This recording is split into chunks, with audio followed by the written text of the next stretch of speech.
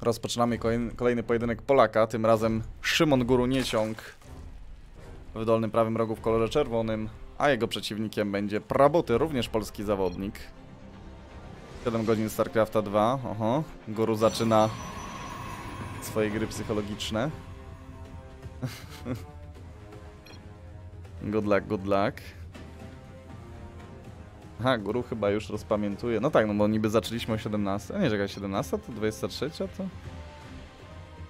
Nie no, czekaj, czekaj, czekaj, czekaj. No jakby nie liczył, dla mnie to jest 6 godzin, a nie 7. I jeszcze tylko 8 best of free awansujesz. Prawo ty jeszcze mu policzył, żeby się za dobrze nie czuł. O Jezu, nie. Już widzę, że trwa lekkie rozluźnienie. Przykro mi. No nie mogę. No ale dobrze. Mamy dwóch polskich graczy. No oczywiście któryś musi odpaść, bo to jest drabinka przegranych obecnie. Gracze od początku mieli zawsze tę drugą szansę. O, widzę, że będzie forma harasu. Rabuty się troszeczkę złapał.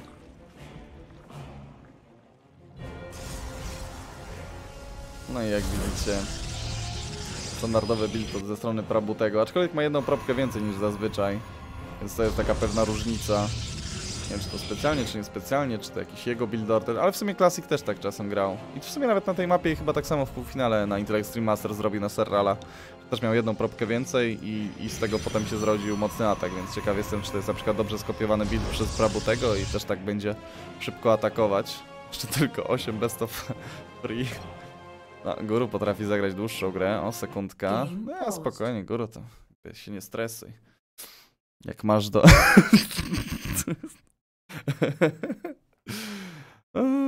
Guru opluł monitor. Widocznie zobaczył jakiegoś protosa na ekranie, więc taki odruch mu się włączył, ale spokojnie. Już asystentka w postaci chusteczki dała radę. Zobaczył Overlorda i tak ha! A, czekaj. To nie teraz. Oj, guru. Już miał harknąć na, na ekran. Drugi raz, ale jednak nie. Już się wstrzymał. Stargate. To wybór Prabutego. Wtedy też chyba Classic, z tego co pamiętam, zrobił um, Oracle Phoenix, a potem 8 Gate Zelot? Czy to był szybki 8 Gate Zelot? Z tego co pamiętam, był tam Stargate dodany. No w każdym razie można to zagrać na różne sposoby, więc tutaj nie ma też dużego kłopotu. Czy to jest guru build? O to jest pytanie, bo ja tu widzę tylko 19 dron i masę zarglingów, które to z kolei biegną boczkiem mapy. Adeptka też biegnie bokiem. O co chodzi z tą adeptką? Czemu ona tędy przechodzi? No, guru teraz został chyba zdradzony. Zarglingi oczywiście już biegną. W tym momencie Prabuty oczywiście powinien dopełnić swoje barykady. Prabuty, Prabuty. Czy ogarniamy, czy nie ogarniamy? Zarglingi guru się już zbliżają. Prabuty nie wysłał Shade'a w to miejsce, ale no i tak udało mu się zdążyć. Tak, to jest guru build. To jest guru build. Tylko chyba jeszcze on odrobinkę też inaczej zagrany, no ale wykonuje go guru, więc dalej guru build. No i frontalnie teraz próbuje się przebić Szymon, nie wiem czy bardziej powinien skupić się na atakowaniu tych adeptek, czy też może bardziej na Cyberity Score. W pełni zabudowany protos w tym momencie, bardzo ładnie Prabuty się broni, tutaj jeszcze świetnie przeteleportowana jedna adeptka. Nie wiem czemu ta druga też nie wyszła od razu z tyłu, no ale może jakieś lekkie niedopatrzenie. No i Oracle wyjaśnia sytuację.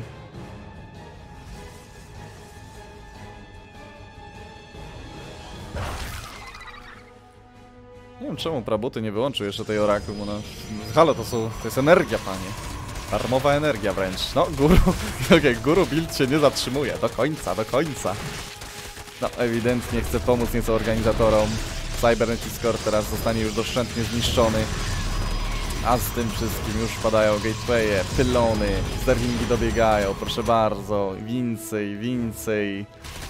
Zerga nie ma końca. No, Voidra już jest niezłym dodatkiem defensywnym, ale tutaj jest przejście. Panie Szlaban podniesiony, Protos obalony. No i Prabuty musi chyba już odpuścić. Nie żebym mówił mu jak ma żyć, aczkolwiek jego proby w tym momencie padają. I to dość szybko. No ale jeszcze oczywiście niech spróbuje. No nie no. Kurczę, nie, nie, chyba jednak źle to zamikrował. Guru został otoczony przez probki, no ale teraz kolejna salwa zerglingów dokończy dzieła zniszczenia. Dwa Voidray już nawet Suna. pasku jednostek Prabutego. Nie no, 6 probek, nie ma cudów, niestety. No, po, podniesienie tego szlabanu, no to jest, to jest koniec w zasadzie. No tak z reguły, no czasem się jeszcze coś może wydarzyć, ale to jest jednak bardzo rzadko. No Guru Build nie bez powodu nazywa się Guru Build. To jest bardzo skuteczne zagranie, też używane czasami przez innych progamerów, prawdopodobnie dlatego, że podpatrzyli to u Guru. I to jest faktycznie mega silne, nie jest tak, że to jest jakieś byle co. Ale faktycznie ma to ogromne szanse powodzenia. Aż mnie dziwi, że Prabuty dalej tutaj wojuje. Za chwileczkę Nexus zostanie zniszczony. No i z nim chyba szansa Prabutego na wygranie tej gry, bo jeszcze kolejne probki padają. Zaraz nie będzie w ogóle pieniędzy na kolejną probę. Tym bardziej szansa na odbudowę zerowa. No i właśnie Prabuty poddaje. Szybka gierka. Wszystko się sprowadziło właśnie do tego, e, do tej barykady Protosa. Jeszcze dziwne, on zauważył te dwa zerglingi biegnące bokiem mapy. No dobra, to może nie było aż tak dziwne, ale potem zauważył kolejne. To już było ostro podejrzane. Więc był ten błąd właśnie, że no nie uzupełni barykady, ale jedna adeptka też powinna wyjść nad gatewayem. No i, i, i shield battery też by się przydał. I by było już nieźle. I nie wiem, czy nie lepiej byłoby zrobić drugą Oracle. Mimo wszystko, bo one o wiele szybciej niż Solingi. Znaczy właśnie, zrobić Oracle można też tylko wtedy, kiedy ta barykada stoi, bo jak stoi, no to te zerglingi wszystkie są w jednym miejscu, a jak Oracle zaczyna latać, no to traci oczywiście o wiele więcej energii e, przez, przez no, sam fakt ten, że musi gdzieś tam dolecieć dopiero, a tak to stoi, zadaje obrażenia i to jest naprawdę mega, mega mocne. Co tam się dzieje na czacie? Coś powiedziałem, Majster? Nic nie wiem.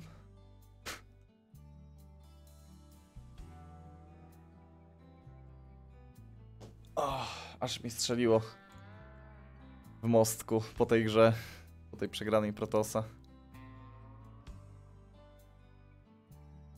Mm, mogłaby też probka Prabutego zauważyć, zo- zostać chwilę u góru, na, u góru. Nie wiem, nie wiem, czy Prabuty w ogóle zrobi zwiat probką, teraz mam jakieś wątpliwości, no ale nie no, była, była, była, była probka.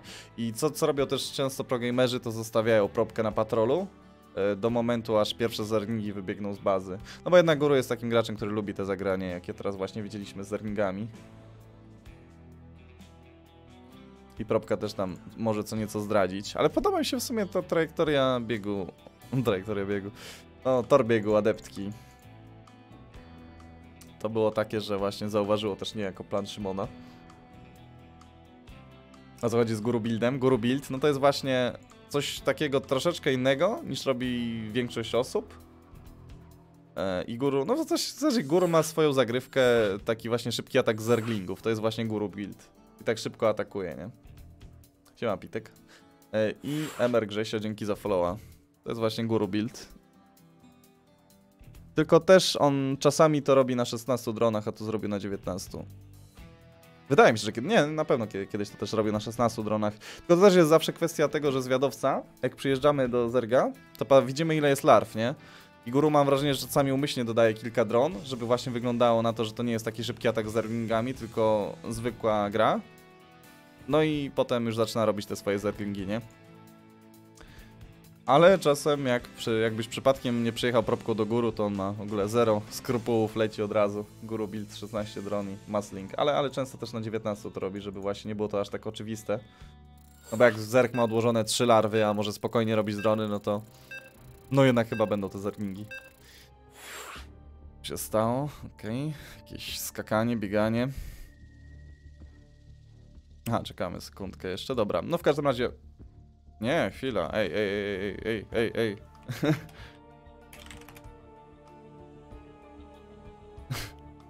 Guru, spokojnie. Szymon chce mi zrobić guru builda, widzę. Czekamy jeszcze na Prabutego, ale widzę, że o, ziomek elegancko ogarnął. Jest refleks u tego zawodnika.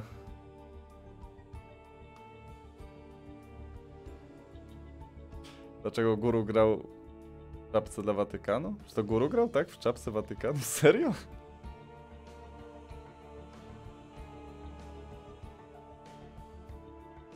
Recenzja nowego dodatku do HS-a?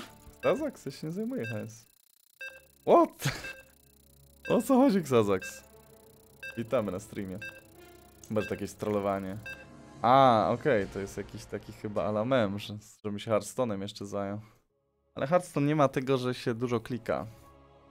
To jest ten minus, a ja lubię klikać. Let's go.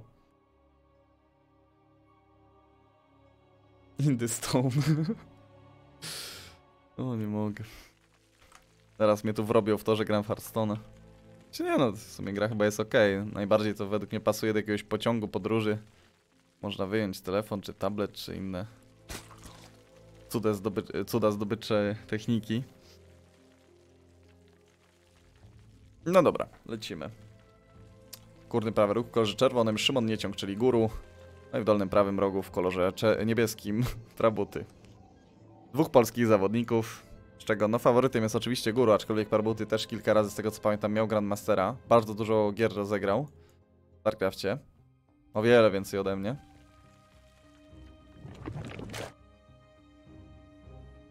No ale do tej pory mam wrażenie, że to jest to, co robił kiedyś Sol, czyli Sol też grał niesamowicie dużo gier, ale on sam przyznał, że to jest trochę bez sensu. W sensie Soul przyznał, że granie takie totalnie, totalnie na masę jest bez sensu i że lepiej jest grać troszeczkę mniej, ale na przykład customy z jakimiś tam programerami, żeby ten trening był trochę bardziej wydajny. Takie właśnie samo granie na masę to jest... Niby nie jest takie fatalne, ale jednak no... Jak się okazuje nie działa zawsze.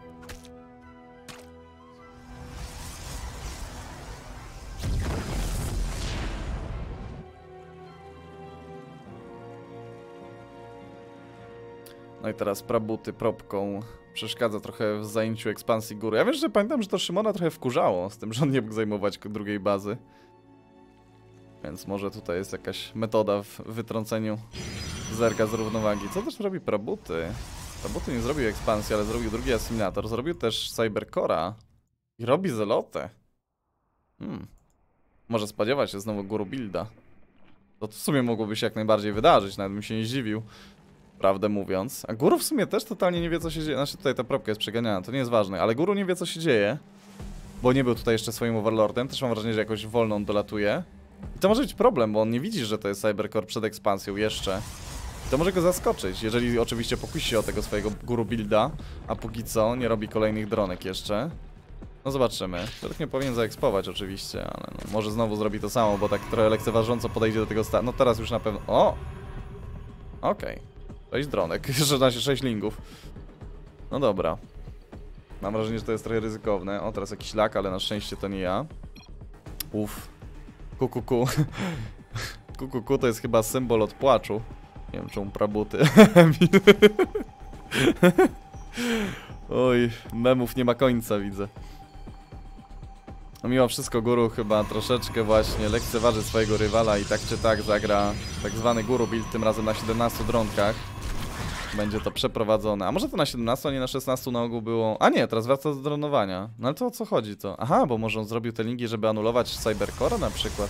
No to się nie uda, no jakby w ogóle bez sensu te kolejne 6 lingów. Nie żeby obrażać, ale no myślałem, że po prostu okej, okay, let's go, wszystko na jedną kartę i albo wejdzie, albo nie wejdzie, ale to też takie trochę lekko myślę, no bo przecież skoro Protoss tak wcześniej zajął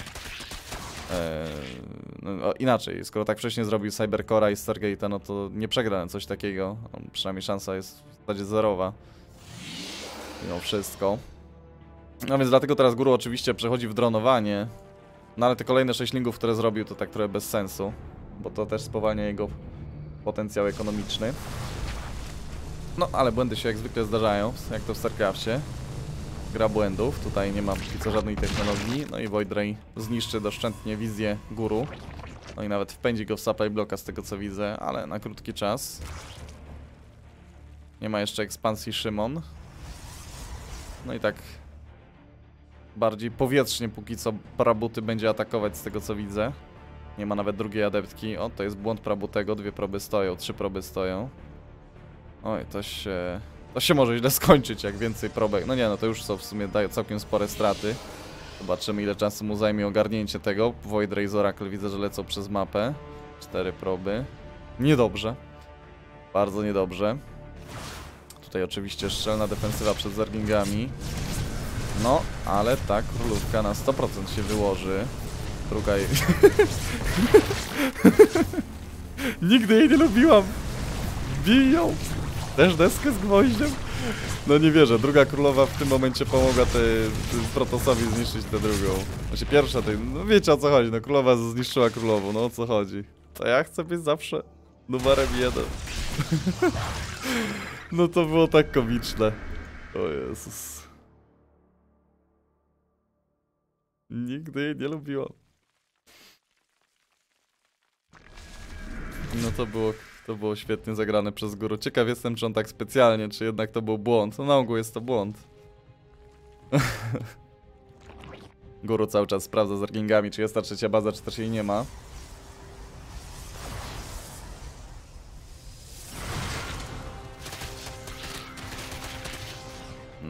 Nawet propki nie udało się złapać. Ja nie wiem czemu po te adeptki z powrotem guru się ładuje. Widocznie jest zajęty atakowaniem Oracle. No, udało się ją zniszczyć. Tutaj też ten Void Ray przed chwilą padł.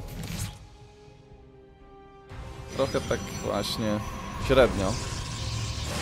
Powiedziałem, że straty po stronie guru też nie małe, no ale lepiej jest nie tracić właśnie jednostek, które kosztują gaz. Wychodzi na mapę w tym momencie Prabuty, ale Szymon nieźle przygotowany z tego co widzę, bo już nawet Banelingi dorzuca do swojej kompozycji. No i powinien się obronić, zwłaszcza, że adeptek jest ledwie 6, no i nie mają one ulepszenia do Glewi, więc to jest taka, bym powiedział, raczej lekka presja. No i za moment powinien to właśnie z tymi Bailingami guru ogarnąć. One się połączą w ogóle, czy zdążą się połączyć? Tak, zdążą się połączyć. Prawda, nie wszystkie z tego co widzę, ale było chyba wystarczająco dobrze. Może tak, Parabuty jakby teraz wszystko dobrze rozegrał, to mam wrażenie, że mógłby to jeszcze wygrać. Od tego momentu. Robo Bay grany razem z Forge'em. Obydwaj zawodnicy mają porównywalne wydobycie, chociaż za chwileczkę góru wyskoczy, wyskoczy do przodu. No dobra, może, może będzie to trudniejsze niż myślałem. No ale kto wie, kto wie, kto wie.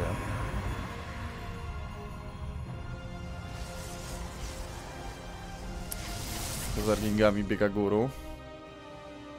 No ale dalej dobrze zastawiony prabuty. Więc chociaż tego Stargate'a można by przeatakować. Szymon już idzie w ler z tego co widzę. No i co, na pewnie hydry, roache i tym podobne rzeczy. Tym razem Szymon nie próbował szybko zakończyć mapy, no bo to by było trochę takie niemożliwe. Nawet makrohacza. Będzie chciał mieć dużo larw Szymon. No i do tego jeszcze ulepszenie na lingi, jakieś pancerze, rozsiew creepu. Dba jako własne. Jakby to za swoje budował. Sporo centry ze strony Prabutego. Z tego te kolosy, no trochę jak Wings of Liberty to nam wygląda na ten moment, ale kolosy myślę, że dalej są w miarę do zagrania. Forcefieldami niczego tutaj guru też specjalnego nie osiągnął. Powiedzmy, że wymusił trochę energii na centry. No, okej, mamy Infestation Pit. A guru w sumie lubi czasem trochę poczarować.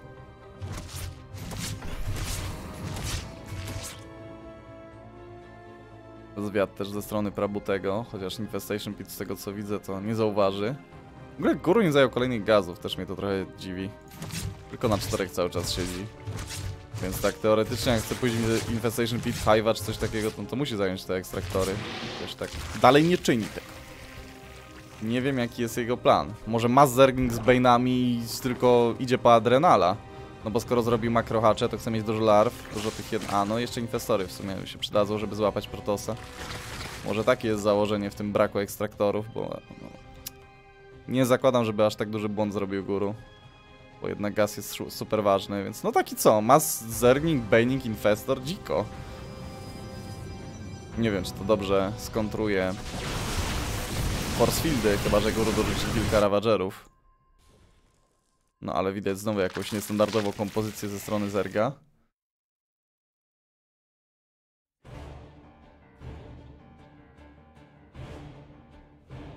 No i Prabuty zaczyna wychodzić rzeczywiście na mapę, są dwa kolosy.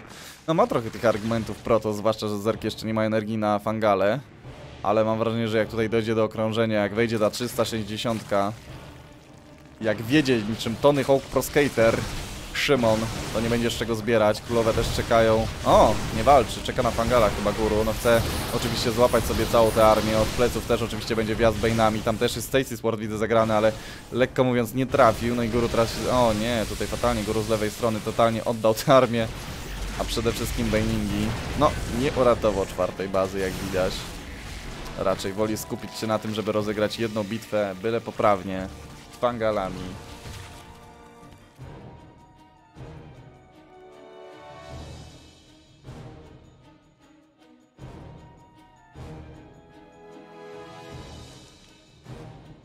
No, czekają bardzo cierpliwie zawodnicy. Dziesiąta minuta gry, a w zasadzie chyba nie było tu żadnych strat. 380. No, tak, no, okej, były jakieś, ale to takie bardzo niewidoczne bym powiedział do tego momentu. Natomiast wydobycie na pewno ma lepszy Szymon, chociaż nie mamy wykresu, ale no teraz trochę prabuty nadgonił. O, Gaz też ma lepsze prabuty. Co się dzieje? Szymon. To ta czwartej bazy była dość bolesna. Strata Oracle mogłaby być bolesna, ale na szczęście to się jeszcze tak nie skończyło. A, albo po prostu pójdzie w ultry. No tak, tak też można. Myślałem, że jakoś wiecie. Jakoś tak trochę przytroluje nam Szymon. Ale nawiasem mówiąc, mm, kiedyś właśnie się zastanawiałem z pewnym polskim zergiem, jak się kontruje taką kompozycję Protosa w miarę łatwo. No i właśnie są to ultraliski. Jest tylko jeden Immortal, więc spokojnie można w ten sposób zaatakować. Znaczy same ultraliski, też dużo zerglingów, Painy też na pewno pomogą, a Fangale są wręcz kluczowe, żeby przytrzymać to wszystko w miejscu. No i potem zmiażdżyć przytulaczami. Chociaż tak naprawdę chyba najwięcej obrażeń robią i tak zerglingi. Tylko no nie mogą one zbyt szybko paść. Podczas bitwy. No, Szymon jakiś taki zduszony i stłamszony jest w tej grze.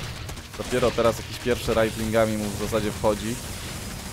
Okej, no, to, no ale jak już weszło, to weszło ostro widzę. Zniszczy nawet Nexusa. No, Forsildy, Forsildy, Forsildy, Forsildy. O! Odpuścił guru. A może nie, że mógłby to zniszczyć. No ale odpuścił. Nie ma ulepszenia do adrenala też Szymon. Nie wiem, czy zapomniał, czy o co tu chodzi. No nie ma, nie ma, nie ma. Po prostu nie ma. Nie ma też na pasku produkcji. A przydałoby się to ulepszenie.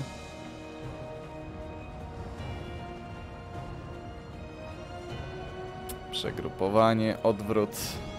Napra buty zaczynam dodawać do swojej kompozycji jednostki, które znakomicie skontrują zerglingi, a jest ich tutaj, no, grubo ponad 100, 156. Czyli archony.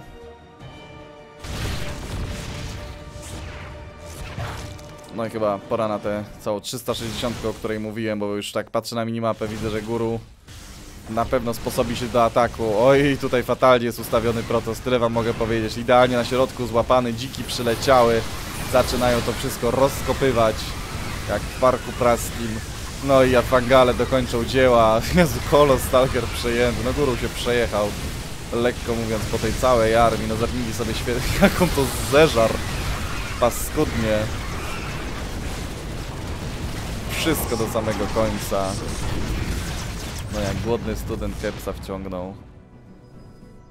52 limitu kontra 30 na ten moment. Nawet przejął Oracle i się nią zaczyna bawić. Okej. Okay. Wow, to będzie Stacy Sword Guru teraz.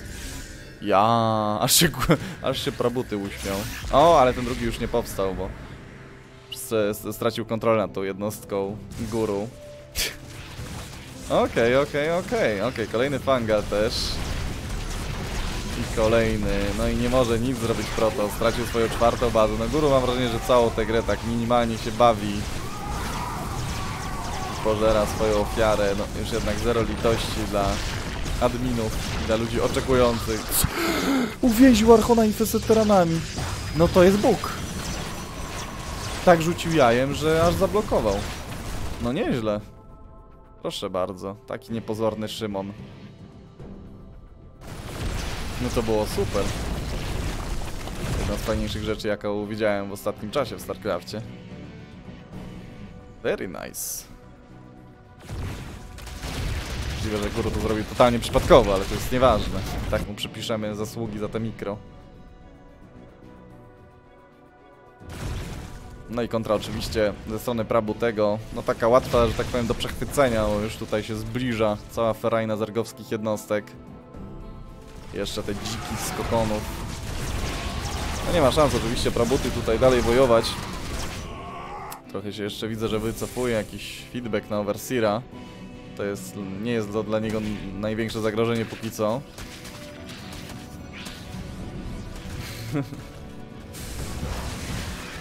No i ostateczny atak w wykonaniu Szymona.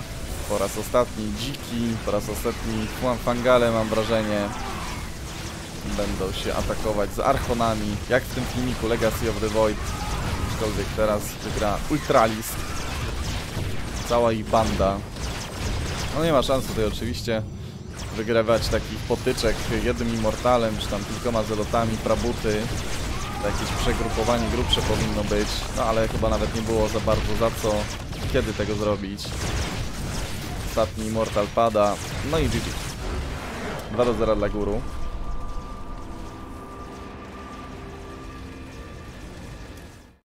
Ale no, mi się podobała ta blokada tymi czterema jajkami przy Archonie, to było, to było fajne. E, tam polecam oczywiście zostawić sobie lajka, komentarz na YouTubie.